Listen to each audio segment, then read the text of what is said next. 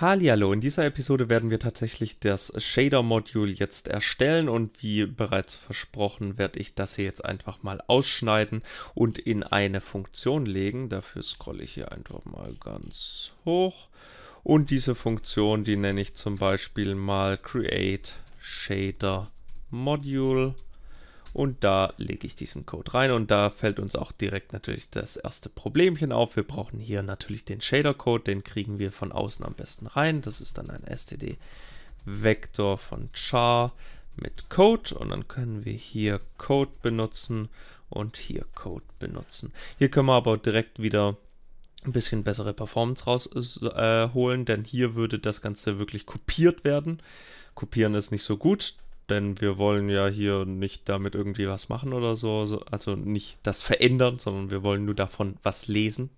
Deswegen machen wir das Ganze besser noch Call by Reference und versichern an außen, dass wir das Ganze nicht verändern werden mit einem Const. So, und als nächsten Parameter erwarten wir noch einen Pointer auf ein VK Shader Module. Shader Module und dieses Shader Module werden wir jetzt eben hier erzeugen.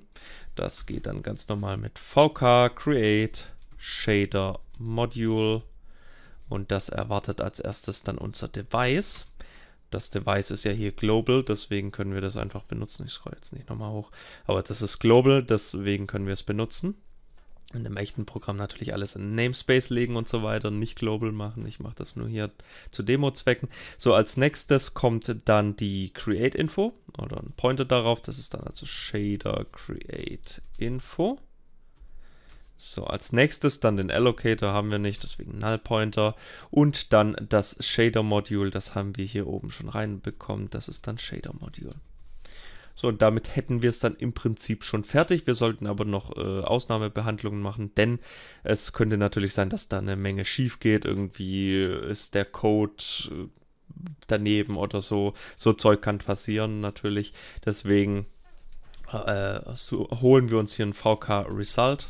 Result ist gleich das und falls da ein Fehlercode ist, dann steht er da drin und dafür können wir jetzt, um zu prüfen, dass alles richtig war, unser Makro benutzen, assert Vulkan Result. So, nochmal kurz zum Zeigen, assert Vulkan war das hier. Einfach nur, ganz einfach. So, und dann können wir das Ganze wirklich schon benutzen und das machen wir dann ganz einfach mit Create Shader Module Module, beziehungsweise, nein, kommen wir nur zurück. Wir brauchen natürlich erstmal ein VK Shader Module, das nenne ich dann zum Beispiel Shader Module Word und VK Shader Module Shader Module Frag. So, und jetzt kann ich Create Shader Module sagen und gebe da einmal das Shader Code Word rein und die Speicheradresse auf unser Shader Module Word und kann das hier kurz kopieren und jeweils frag und frag sagen. So, und damit hätten wir es dann im Prinzip schon, wenn wir das Ganze ausführen. Dann funktioniert das auch schon. Ich habe auch schon in der Main einen Breakpoint gesetzt, denn wenn ich das Ganze jetzt schließe, dann ist hier unser Breakpoint. Und wir haben hier zwei Errors.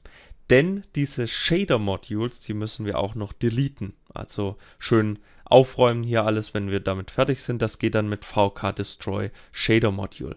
Aber damit wir auf das, äh, die jeweiligen Shader Modules natürlich zugreifen können in unserer ähm, Shutdown Vulkan Funktion, müssen wir die auch wieder nach außen lagern. Also zum Beispiel hier hoch.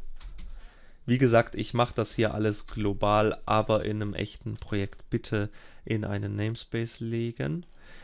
Und dann können wir sagen, dann noch ein Space weg, so, äh, können wir sagen, dass das Shader Module Word und Shader Module Frag hier unten removed wird und natürlich auch hier wieder in umgekehrter Reihenfolge, beziehungsweise es muss eigentlich nur vom Device passieren. Äh, es müsste jetzt nicht bei der Swapchain sein, aber machen wir es einfach mal so rum. Das ist dann VK Destroy Shader Module. So, und das erwartet dann eben unser Device. Unser Shader-Module, wie gesagt, das ist unser Shader-Module Word. Und als letztes, falls wir einen Allocator hätten, haben wir nicht, deswegen Null Pointer. Und das gleiche noch mit Shader Module Frag. Und wenn ich es jetzt ausführe und wieder beende, dann sehen wir hier in der Ausgabe keine Fehlermeldung, also es hat alles richtig funktioniert. Gut.